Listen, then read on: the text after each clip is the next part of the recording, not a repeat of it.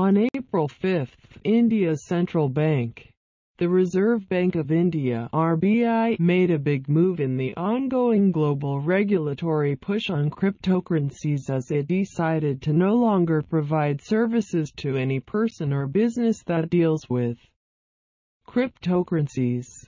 Since then, there has been a battle building up, with the latest skirmish set for July 20, the Supreme Court of India's next hearing date for the latest petitions against the bank's decisions. This decision followed confrontation between banks and Bitcoiners and also came off the back of the Indian government claiming that Bitcoin is a Ponzi scheme and that it lacks intrinsic value.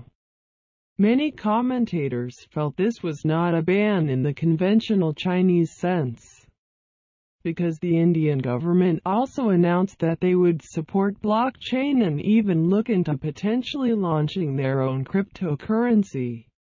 However, as time has gone on, those involved in cryptocurrency in India have felt the pinch of the RBI's decision to cut ties with them. It has led to a lot of pushback and even court cases amidst crypto businesses closing. India's relationship with Bitcoin is rocky at best but also confusing and convoluted and well worth examining as so much has happened in just the past few months. Bitcoin and Blockchain in Review India had a very productive 2017 in terms of the growth adoption, and acceptance of blockchain technology and cryptocurrencies. One of India's leading trade associations, ASSOCHAM, held a global summit on Bitcoin and blockchain in March 2017. In May 2017, the demand for Bitcoin grew exponentially and abruptly so much that India's largest exchanges had to put a limit on Bitcoin purchases due to lack of supply. In June, Zebpay, one of India's leading Bitcoin exchanges established back in 2012, became the seventh most popular app in the finance category on India's Apple App Store, even higher than the apps of many national banks. In October, it was reported that the major Bitcoin exchanges in India were attracting more than 200,000 new users every month. This was all going on with negative rumbling from the RBI already in the background, as it was issuing warnings throughout the year cautioning people about buying Bitcoin. The rumbling gets louder while there was huge growth and interest from individuals and companies in cryptocurrency and blockchain. The RBI was mostly unswayed, and in the government remained similarly unimpressed. In the hopes of deterring buyers, India's Ministry of Finance called Bitcoin a Ponzi scheme and said it had no intrinsic value. But this was announced only a few days after Bitcoin topped a high of $20,000 and mostly fell on deaf ears.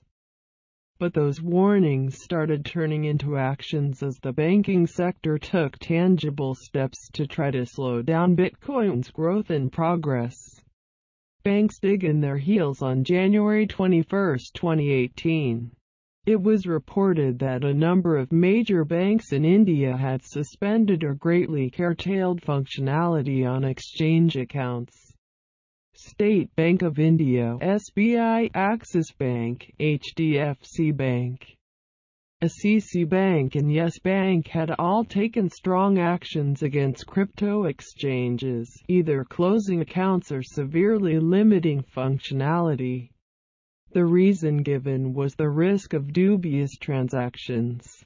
According to local reports, on February 14, Citibank India banned its customers from using credit cards to purchase cryptocurrencies. It also took the measure one step further by banning the use of debit cards for crypto purchases, Quartz India reported. The move by the banks coupled with a negative mention about Bitcoin by Finance Minister Arun Jaitley during his budget speech, had an impact as Bitcoin businesses started feeling the heat and were unprepared to operate in such a negative climate. On February 28, crypto exchanges BTCXIndia and ETH India then informed their customers via email that they were stopping trading activities citing the stress on their business caused by governmental actions discouraging crypto. This all led up to the RBI's big announcement of its ban. They explained in their statement that the move was justified by the associated risks that the government had been warning against all this time. Thus, it has been decided that, effective immediately, Entities regulated by RBI shall not deal with or provide services to any individual or business entities dealing with or settling VCs. Regulated entities that already provide such services shall exit the relationship within a specified time frame. Hope remains while the news was seen as semi-positive since it was not a direct ban on cryptocurrencies, it was still a blow for India's burgeoning cryptocurrency environment. However, a day after the ban was announced, hope was slightly renewed as the RBI also said that it was considering creating its own cryptocurrency. RBI Deputy Governor B.P. Kanungo had some positive things to say about the technology. He told the Times of India, Technological innovations, including virtual currencies, have the potential to improve the efficiency and inclusiveness of the financial system. We recognize that the blockchain technology has potential benefits for the financial sector and we believe that they should be encouraged to be exploited for the benefit of the economy. A big backlash despite the positivity about the technology and the economic potential cryptocurrencies could offer India. The fact of the matter was that the damage was done, and already the fledgling crypto ecosystem was taking hits as exchanges closed. This triggered a backlash from Indian citizens as well as some big crypto influencers. Tim Draper, the well-regarded tech investor, called the RBI's decision a huge mistake and warned that it would drain India of cryptocurrency experts, which it would clearly need if it did see potential in the technology. Furthermore, a petition garnered over 17,000 signatures urging the RBI to reverse its decision on Bitcoin and cryptocurrency. The reason for signing this petition for many was expressed as it could lead to an increase of irregular cash trading of cryptocurrencies in India. In addition, the ban could take away potential revenue to the government from crypto exchanges and instigate a crypto market price drop due to the knee-jerk reaction in which prices got impacted. This unfortunately was not strong enough to sway the RBI's decision which then led to sterner measures being taken. Legal intervention On April 22, 2018, the High Court of Delhi reportedly issued a notice to the RBI, the Ministry of Finance, and the Goods and Services Tax GST Council alleging that RBI's decision to end dealings with crypto businesses violates the Constitution.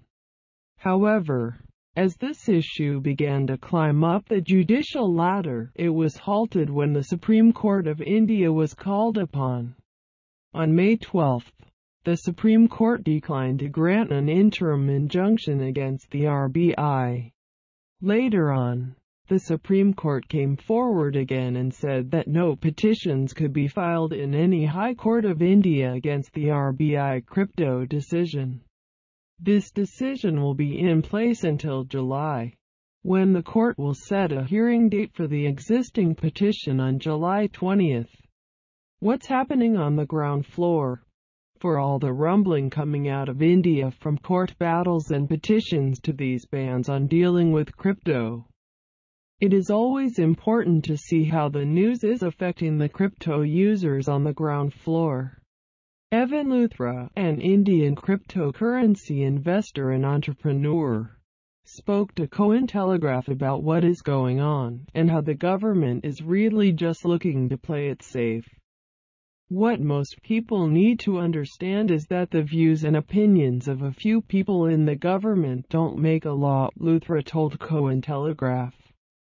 The Indian government is just trying to play it safe and actually bringing light to the whole industry. The process taken by the government is not the wrong intention. It is for putting a stop to people who are doing scams and running Ponzi schemes.